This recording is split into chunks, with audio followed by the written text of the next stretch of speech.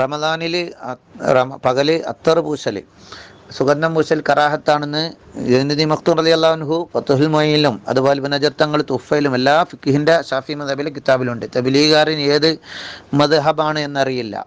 അവൻ അവൻ ഏത് രാമായണ മദ്ഹബാണോ എന്നറിയില്ല.